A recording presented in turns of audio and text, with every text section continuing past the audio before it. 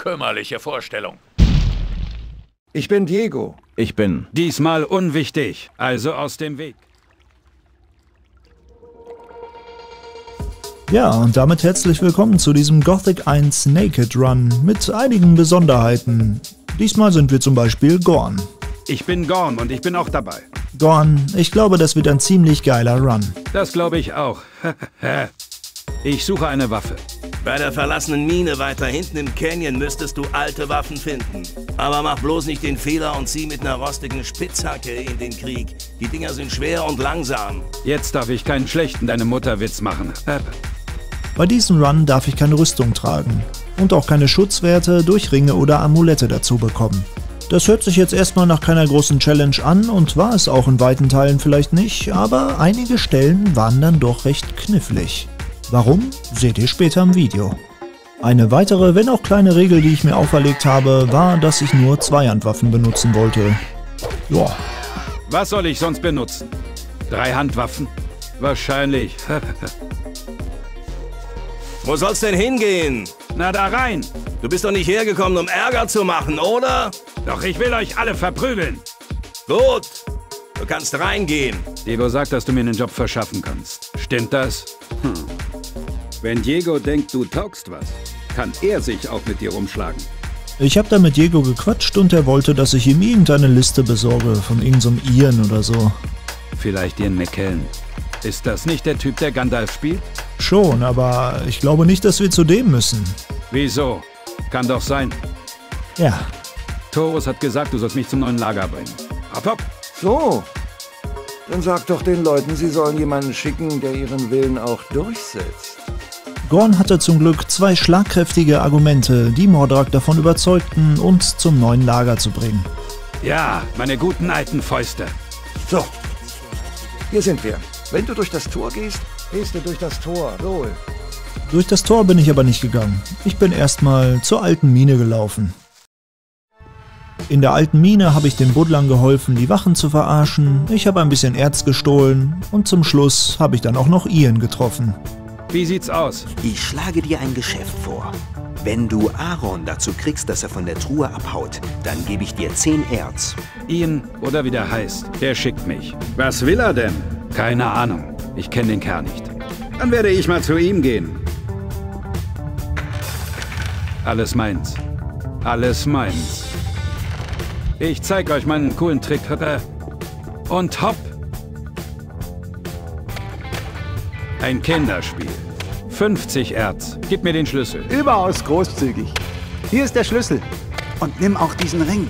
Mir hat er immer Glück gebracht. Stärke-Ring. Nice. Hey, du! Wenn du mich noch einmal so verarschst, dann gibt's eine ordentliche Tracht Prügel, verstanden? Hey, du! Es gab gar kein gebratenes Fleisch. Guck mal da neben dir. Was ist das denn? Fleisch! Diego schickt mich. Schmeiß mal die Liste rüber. Alles klar, hier ist die Liste. Sie sollen sich mit dem Liefern beeilen. In der alten Mine war ich fürs Erste fertig und es ging zum neuen Lager. Hey du! Neu hier, was? Auf den Reisfeldern brauchen wir noch jemanden, der den Bauern Wasser bringt. Da kannst du dir direkt ein paar Freunde machen. Was denkst du? Bring dein Wasser selbst rum. So geht man aber nicht mit Freunden um. Ich glaube, ich muss dir mal Manieren beibringen. Nichts wie weg hier. Ah! Der Kerl ist ja komplett irre. Hast du vor, durch dieses Tor zu gehen? Nee, ich wollte hier stehen bleiben. Wo willst du denn hin? Na, da rein. Vergiss es.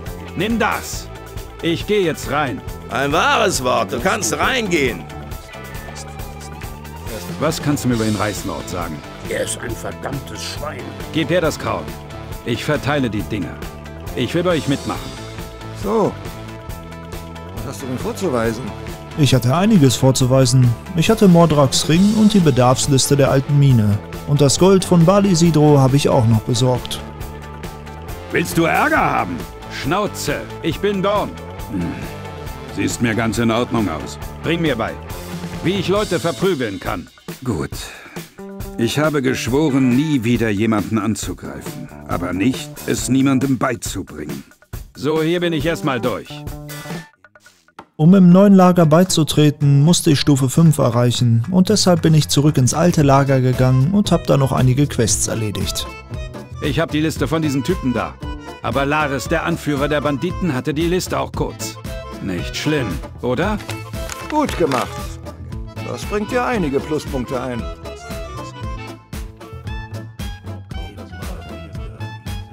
Deine Kampfkraft ist um einiges gestiegen. Der Banditen-Heini ist weg. Lieber wäre mir gewesen, du hättest ihn umgelegt. Ich bin cool. Gut, äh, hast du dafür Beweise? Ich hab ne chillige Kette. Hier. Genau um dieses Amulett ging es mir.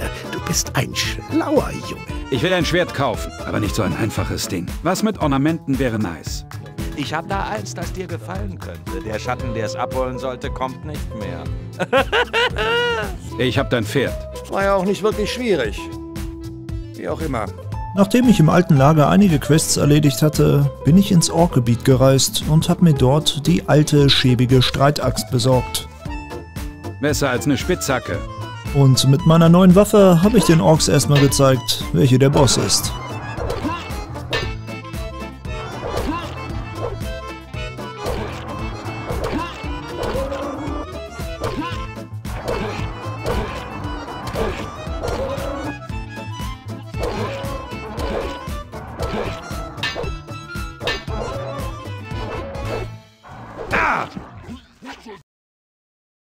Wollen wir mal. Möge der Bessere gewinnen. Nachdem ich mich ein bisschen mit den Orks geprügelt habe, kam ich zurück zum alten Lager und habe mich dort mit den Menschen geprügelt. Du bist doch nur hier, weil dich im neuen Lager alle verprügelt haben. Außerdem bist du doof. Was?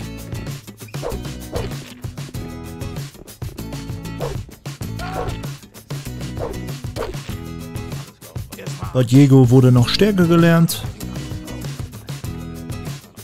Mit dem guten Trick 17 ging's in die Burg. Ich habe die Magier besucht. Ich habe hier einen Brief. Aber leider ist er schon ein bisschen verknittert. Bist du ein Bote aus der Außenwelt? Ich bin Gorn. Hey, wo willst du hin? Bei den Magiern habe ich mir dann noch einen zweiten Stärkering besorgt. Dann bin ich ins Haus der Erzbarone geschlendert, wieder mit Trick 17. Weg mit der... Und hier habe ich mir die ganzen Elixiere des Lebens stibitzt. Mhm, lecker. Schmeckt wie... Mhm, wie Ketchup. Nach meiner kleinen Diebestour bin ich zurück zum neuen Lager gelaufen. Kann ich jetzt endlich mitmachen? Das will ich meinen. Und ich habe sogar ein Geschenk für dich. Eine bessere Rüstung. Rüstung? Ich habe Haut aus Stahl. Wie kommt es, dass du überall rum erzählst, dass du Gorn bist? Wer sagt, dass es so war?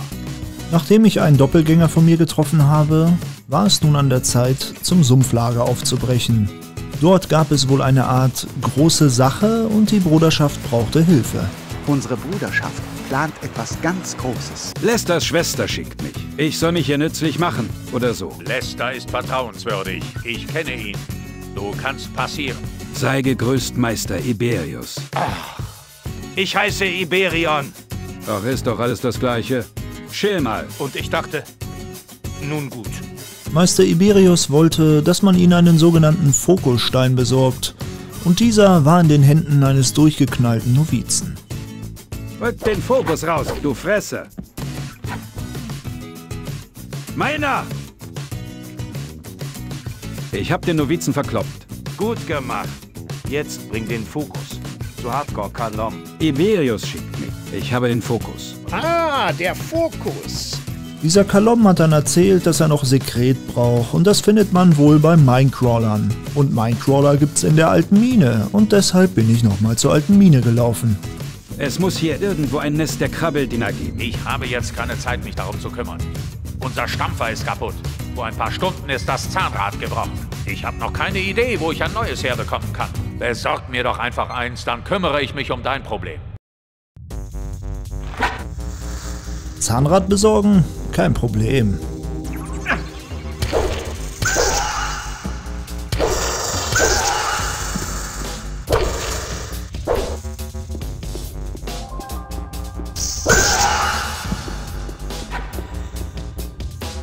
Ich hab das Ding.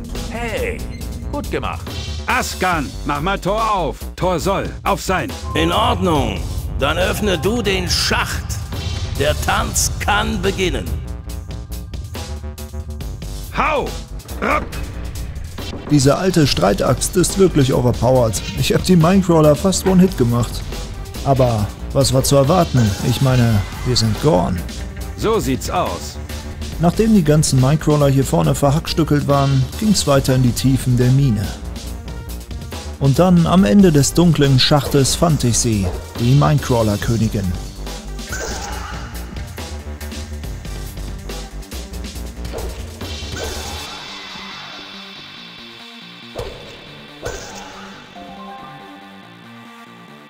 Jetzt gibt's Haue.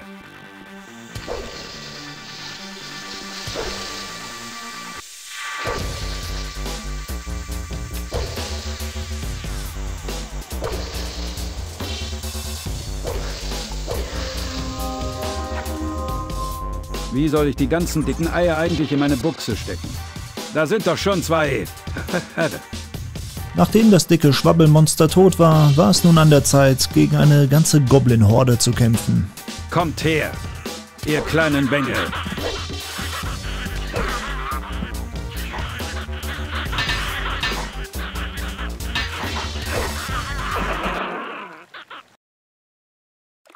Ja, gegen diese kleinen Scheißkerle zu kämpfen, war gar nicht so einfach. Die haben nämlich ganz schön viel Schaden gemacht.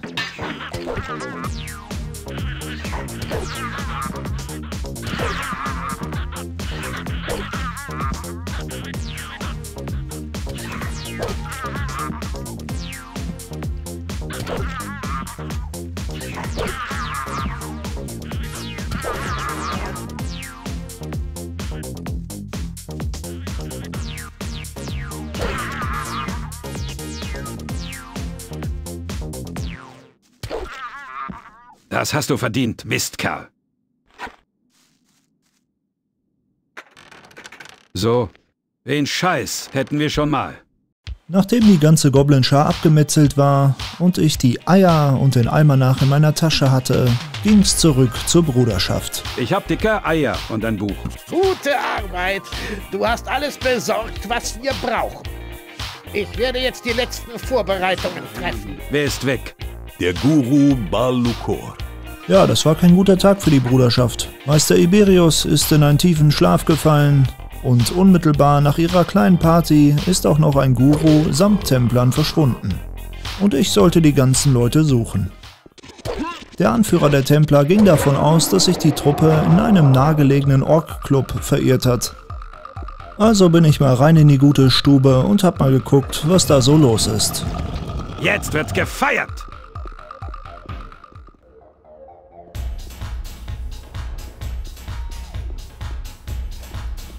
Wo sind die Templer? Wo ist der Guru? Ey, ihr Penner! Wo sind die ganzen Leute?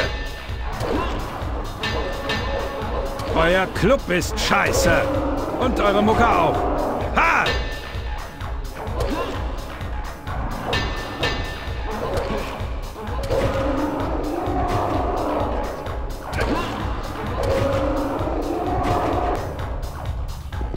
Für deine Hilfe.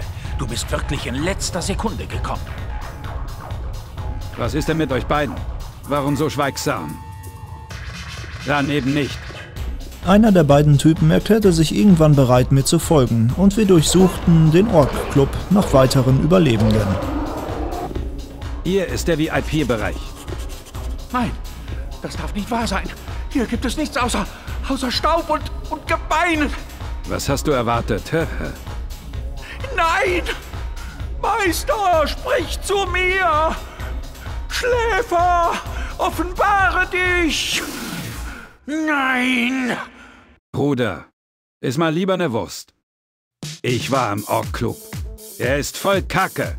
Was ist mit Balukor und den Templern? Sie sind alle doof. Tot? Doof! Nach den kleinen Missverständnissen mit Anga sollte ich für Meister Iberius ein paar Heilkräuter besorgen. Ich habe die Heilkräuter für Iberius. Gut gemacht. Als du unterwegs warst, ist Iberion kurzzeitig erwacht. Ja? Ja, er sagte, dass der Schläfer nicht der ist, für den wir ihn halten. Wir dürfen nicht weiter versuchen, ihn zu erwecken. Jetzt können wir nur noch hoffen, dass es noch nicht zu spät für Iberion ist. Wer ist denn jetzt auf einmal Iberion? Iberion ist Iberion unser geistiger Anführer. Ist Iberion. Sol! Geh zu den Wassermagiern. Ja, ich bin dann zu den Wassermagiern gegangen. Die Bruderschaft ist ein bisschen weird. Hey du, ich habe dir doch gesagt, du sollst den Bauern Wasser bringen. Ich mag es nicht, wenn man mir Sachen verspricht und sie dann nicht hält. Ich hab dir nichts versprochen. Der hat genug. Ganz ruhig. Alles in Ordnung. Willst du auch ein paar? Der Kampf ist entschieden. Ha, du bist es. Mein Freund Lester aus dem Sumpflager hat mir erzählt, was du dort alles vollbracht hast.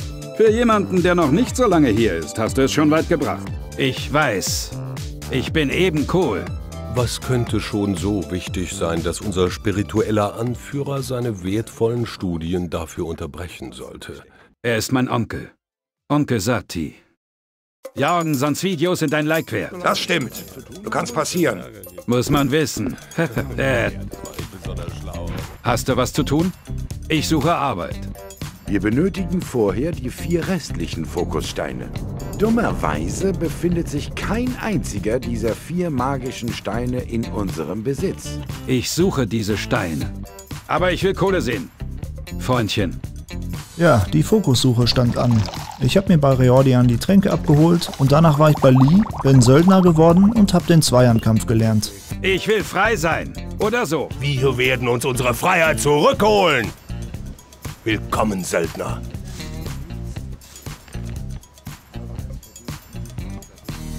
Ich brauche keine Rüstung. Und ich dachte, es ist mittlerweile mal Zeit für eine bessere Waffe. Und deswegen habe ich Lee zusammengeschlagen. Langweiliger Kampf.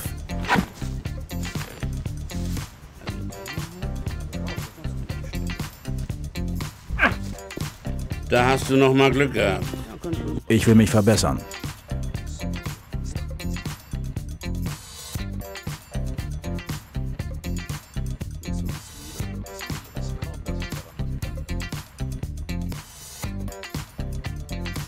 Ich kann dir nichts beibringen. Du hast nicht genug Erfahrung. Beim guten Kronos habe ich mir noch einen zweiten guten Stärkering gekauft und ein Stärke-Amulett. Kann ich da mal vorbei? Nein. Kann ich da mal vorbei? Ja, sofort! Kann ich da mal... Der nervt! Ja, das sind schon gute Stärkewerte für Level 11. Kannst du meine Unterhosen waschen? Ich kümmere mich drum, mach dir keine Sorgen. Nachdem ich Lefty ein bisschen schikaniert hatte, bin ich weitergezogen und hab Snapper verprügelt.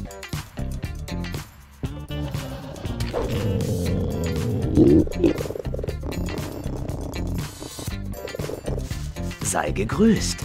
Mein Freund Lester aus dem Sumpflager hat mir von deinen großen Taten dort erzählt. Ich bin beeindruckt.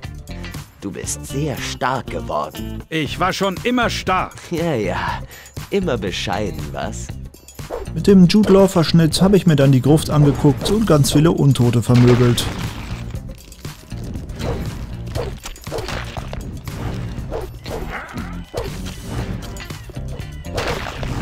Wenn man wie in meinem Fall einen hohen Schaden verursachen kann, dann kann man auch den Rüstungswert des Wächters durchbrechen. Und man braucht da nicht die Spruchrolle von Milton, um den Wächter zu töten.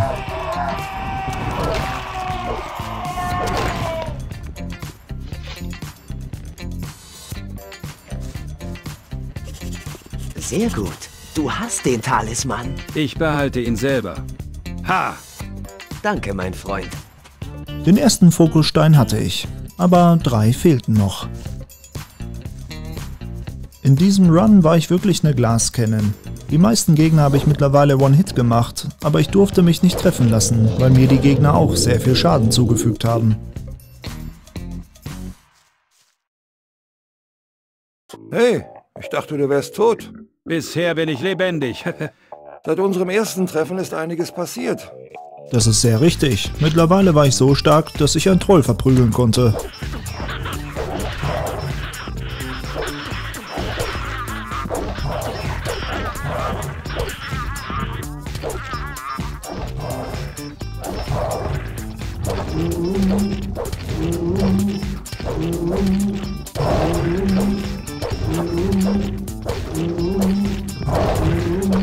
Easy peasy lemon squeezy.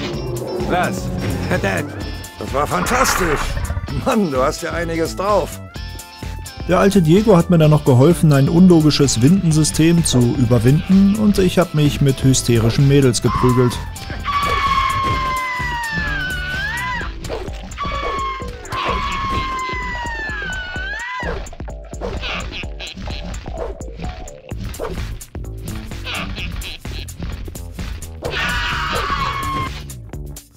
Komm zu Papa.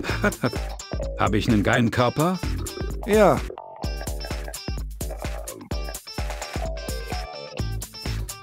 Du bist am Ende deiner Möglichkeiten. Du solltest etwas anderes lernen. Fokus Nummer 2 gehörte jetzt auch mir. Gorn, wo bewahrst du eigentlich die ganzen Sachen auf? Du hast ja nur eine Unterbuchse an.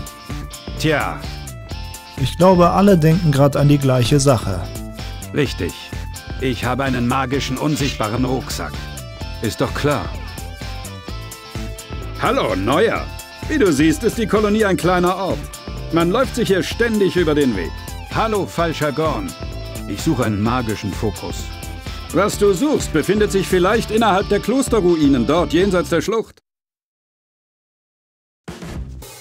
Zusammen mit dem falschen Gorn ging es dann auf eine kleine Erkundungstour durch das Gebiet beim Kloster. Doch als ich über den Baumstumpf balancierte, verlor ich den anderen Gorn aus den Augen. Er hatte wohl Angst vor den Snappern.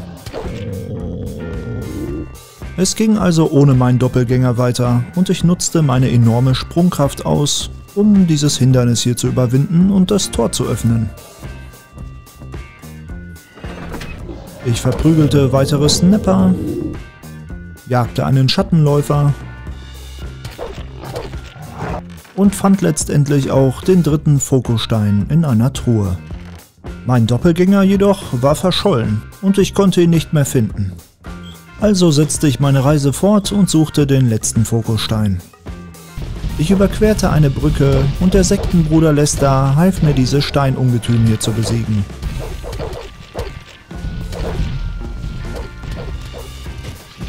Hey, was machst du denn hier? Was ich hier mache? Mit dir zusammen die Felsenfestung erkunden natürlich. Zusammen räucherten wir die Festung aus und verprügelten alle Schreihälse. Ich fand eine Urkunde und den Fokusstein. Aua! Nun haben wir beide, was wir wollten. Ja, mehr oder weniger schon. Und ich konnte zurück zu den Wassermagiern. War es das jetzt? Hast du alles? Wir haben jetzt alle Artefakte zusammen, die unser großes Vorhaben benötigt. Doch die Erschaffung der Barriere wurde von zwölf Magiern durchgeführt. Um die gewaltigen Energien zu kontrollieren und in die richtigen Bahnen lenken zu können, sind wir Wassermagier nicht genug. Was laberst du da? Saturas wollte, dass ich nochmal mit den Feuermagiern quatsche, also bin ich nochmal Richtung altes Lager gelaufen. Wie? Bring mal zwei Handkampf bei. Ändere zunächst deine Grundhaltung. Halte das Schwert aufrecht, fasse den Griff mit beiden Händen und halte es seitlich am Körper. Unterwegs habe ich dann noch einen netten Gardisten getroffen, der mir ein Amulett der Stärke verkauft hat. Hey, pst, sei ganz leise. Warum soll ich leise sein? Hast du es noch nicht gehört? Was denn? Die eingestürzte alte Mine, die Ermordung der Feuermagier und die Pläne für den Überfall auf die freie Mine. Was? Was laberst du? Gut, dass du wieder zurück bist. Es ist etwas Schreckliches passiert. Lass mich raten. Die freie Mine ist voller roter Männchen, oder? Moment. Woher? Aber natürlich. Du hast es im alten Lager erfahren. Ich werde zum komischen Magier aufbrechen und Hallo sagen. Er ist der Einzige, der uns jetzt noch helfen kann. Ja, und so machte ich mich erneut auf ins Orkgebiet, um den komischen Magier aufzusuchen. Doch da gab es ein kleines Problem. Die Golems. Die sind unverwundbar. Scheiße, ey! Ja, aber immerhin ist das die Gothic und es gibt die Gothic Community und die hat schon herausgefunden, wie man die Dinger tötet. Und das auch ohne selbst Hand anzulegen. Es ist aber gar nicht so einfach. Zuerst muss man es schaffen, dass der Eisgolem den Feuergolem tötet. Leider macht der Eisblock beim Feuergolem keinen Schaden und einfrieren kann er ihn auch nicht. Das heißt, man muss auf die Eispfeile zurückgreifen, die der Eisgolem auch abschießen kann. Dafür muss man sich aber selbst einfrieren lassen. Und der Feuergolem muss sich so positionieren, dass er zwischen dir und dem Eisgolem steht, sodass der Eisgolem ihn abschießen kann. Ja, und eben genau das ist der schwierige Part. Also wenn ihr das nachmachen wollt, dann bringt viel Geduld mit.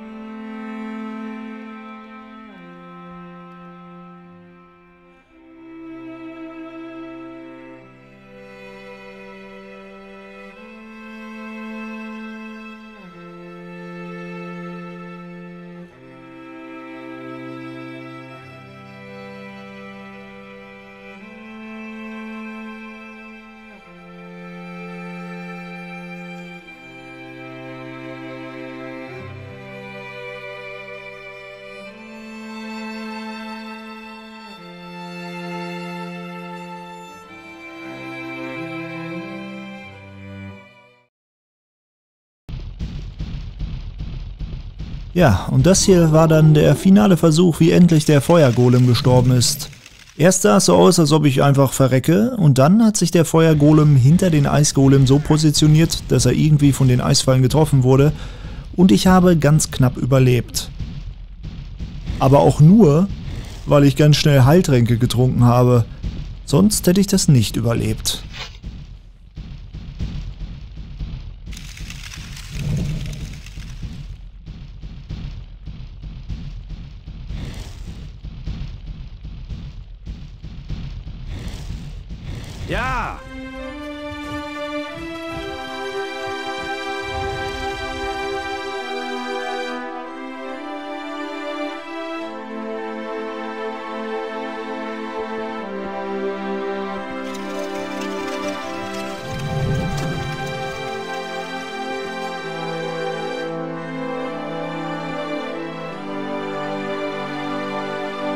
Ja, und jetzt kommt der andere schwierige Part. Wie tötet man den Eisgolem, ohne selbst Feuerschaden zu machen? Ja, man fragt einfach die Feuerwarane, ob sie das für einen erledigen. Hört sich aber einfacher an, als es ist. Irgendwann waren zwei von den Feuerwaranen da und ich habe sie versucht, zum Eisgolem zu locken. Leider verstehen sich Feuerwarane und Eisgolems ziemlich gut und greifen sich nicht gegenseitig an. Deswegen muss man da ein bisschen tricksen. Man muss also dafür sorgen, dass der Eisgolem Varan 1 anschießt, während Varan 2 zuguckt. Varan 2 wird dann sauer und greift den Eisgolem an.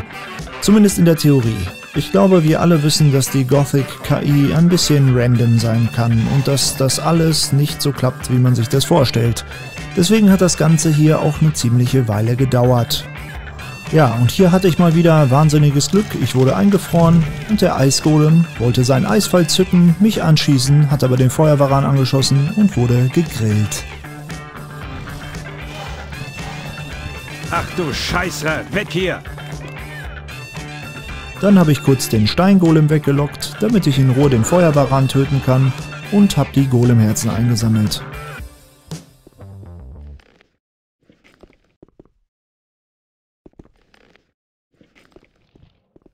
Ja, und dann war da noch der Steingolem. Und da habe ich ein bisschen rumprobiert. Ich dachte, vielleicht kann ihn ein Schattenläufer verprügeln. Kann er nicht.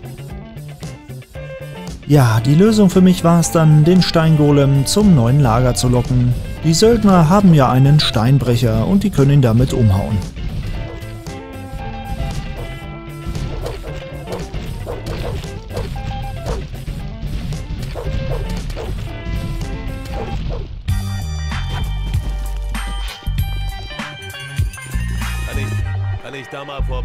Ja, und so waren die Golems dann auch mal tot.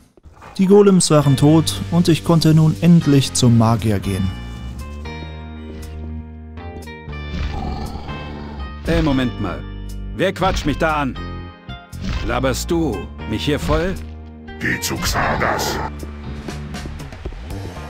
Wer wagt es, meine Studien zu unterbrechen? Hallo, ich bin Dorn. Ich will deinen Namen nicht wissen. Er ist unwichtig. Wichtig ist nur, dass du der Erste seit vielen Jahren bist, der meine Golem-Rätsel gelöst hat. Deine Golems sind doof. Richtig unnötig. Nach einigen kurzen Streitigkeiten über seine Golems hat Xardas mich zu einem Ork geschickt. Dieser Ork war jedoch ein bisschen in Bedrängnis, deshalb half ich ihm.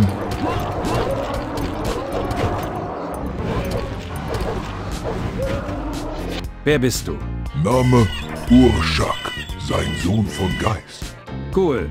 Xardas sagt, du hast heiße Informationen.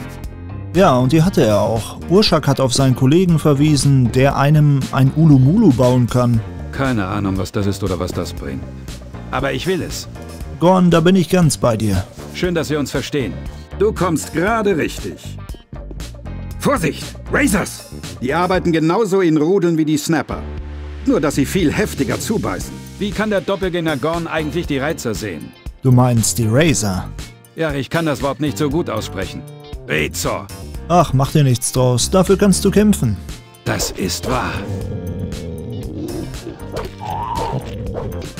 Weg mit der Waffe, weg damit!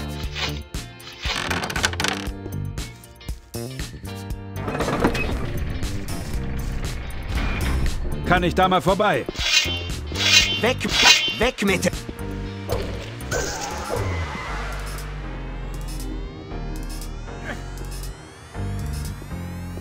Kommt ran, Kabelviecher!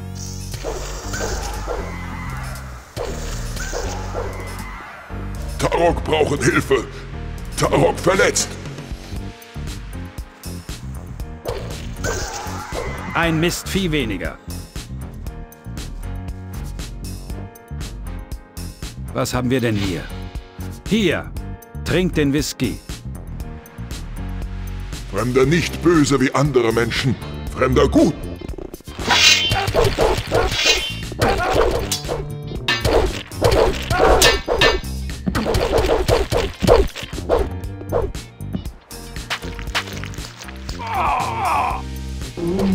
Um das Ulumulu herzustellen, brauchte Tarok noch einige Tiertrophäen. Also bin ich durch die Kolonie gestreift und habe die ganzen Teile besorgt.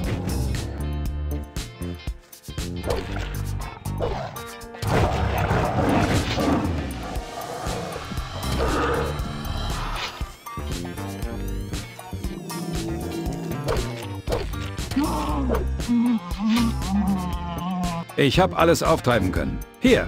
Fremder sein starker Krieger. Geben Teile. Tarok machen Ulumulu. Mit dem Ulumulu war es mir jetzt möglich, die Orkstadt zu bereisen. Was wollen wir hier überhaupt nochmal? Boah, keine Ahnung, aber Xardas hat gesagt, wir sollen hier mal hin. Hm. Ja, stimmt.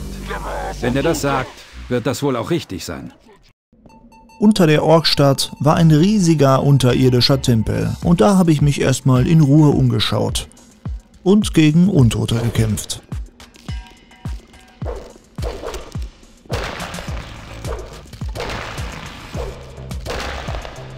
Dann habe ich noch Schalter gedrückt und auch Schalter gedreht.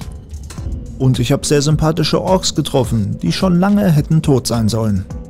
Sterblicher, du wagst es, meine Ruhe zu stören? Bereite dich auf das Ende vor. Selber.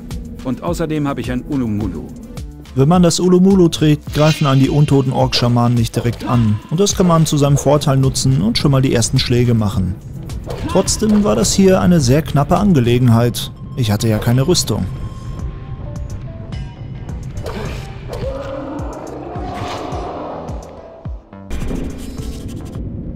Sterblicher! Selber Sterblicher!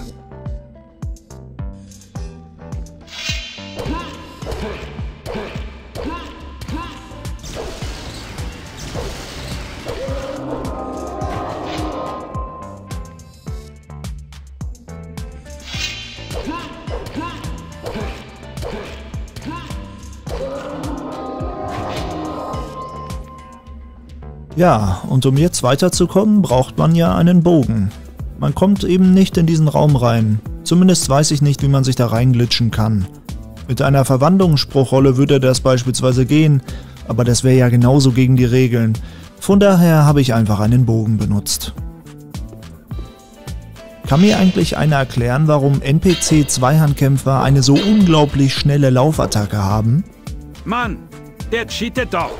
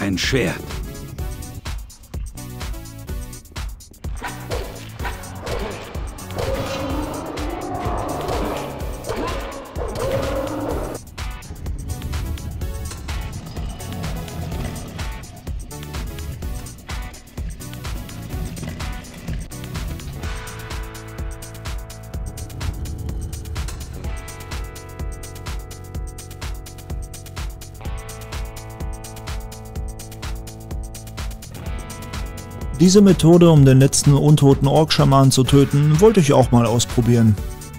Wo bleibt er denn?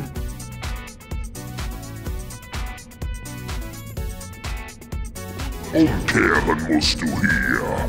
Niemand darf die Ruhe meines Meisters stören. Doch ich darf das. Ich bin der coole Gorn.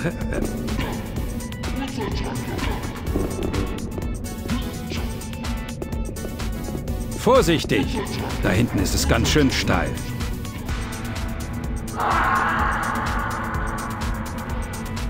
Ich hatte ihn gewarnt. Wenn man jetzt einmal außer Reichweite geht, dann spawnt die Leiche des Orkschamanen am Platz, wo er ursprünglich steht.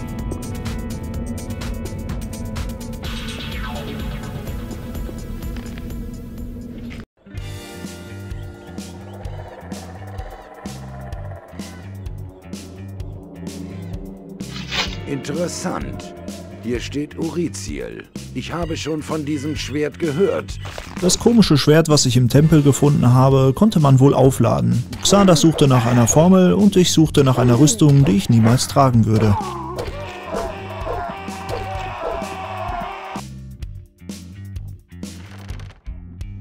Ah, wie ich sehe, hast du die Erzrüstung gefunden. Hä? Wie kannst du das denn sehen? Sie gehörte dem Feldherrn, der einst Uriziel in die Schlacht gegen die Orks führte. Was ein Zufall, aber auch. Ha. Danke fürs Schwert aufladen, Milton. Xardas Plan hat geklappt. Ich habe Uri geladen. Was jetzt? Unglaublich. Das Schwert hat seine alten Kräfte wieder gewonnen. Nun führst du eine wahrhaft mächtige Waffe. Ja, und jetzt gab es nur noch eine Aufgabe. Ich musste den bösen Obermatz mit meinem Superschwert verprügeln. Das war auf jeden Fall mal wieder ein ziemlich lustiger Run. In Gothic 1 ist es auch jetzt nicht wirklich eine große Herausforderung, ohne Rüstung das Spiel durchzuspielen. Pro Levelaufstieg bekommt man Lebenspunkte und man bekommt ja sehr schnell sehr viele Level-Ups, weil Gothic nicht mit Erfahrung geizt. Außerdem findet man noch genug permanente Tränke, die die Lebensenergie auch noch weiter erhöhen und und und. Das Ganze hier als Gorn zu machen hat mir besonders viel Spaß gemacht. Das war mal eine gelungene Abwechslung und gerade hier im Schnitt konnte ich mich richtig austoben. War zwar viel Arbeit, aber ich denke, es hat sich gelohnt. Was meinst du, Gorn? Was? Hab nicht zugehört. Wir haben nicht viel Zeit, also höre mir genau zu. Ich mache, was ich will. Der Schläfer ist nicht mehr weit. Ich musste all meine Kraft aufbringen, um zu dir zu gelangen. Jorgen, Sohn. Wer ist denn jetzt schon wieder der Schläfer? Was redet Xardas? Sorry, diesmal habe ich nicht aufgepasst, was? Ach, egal. Die letzten apokalyptischen Templer wurden ausgeschaltet. Und ich hatte mal wieder das Phänomen, dass mich Korkalom und seine Jünger nicht angegriffen haben. Weiß jemand, warum das passiert? Das hatte ich schon mal in meinem Fist-Only-Run. Ich verstehe dich ganz schlecht von hier hinten. Ja, die Herzen wurden durchbohrt, die Dämonen verprügelt und das war's dann auch eigentlich schon mit diesem Run. Ich würde mal sagen, vielen Dank fürs Zuschauen. Ich hoffe, euch hat das Video gefallen und ich freue mich auf euer Feedback. Hallo! Was macht ihr hier? Wollt ihr nicht kämpfen?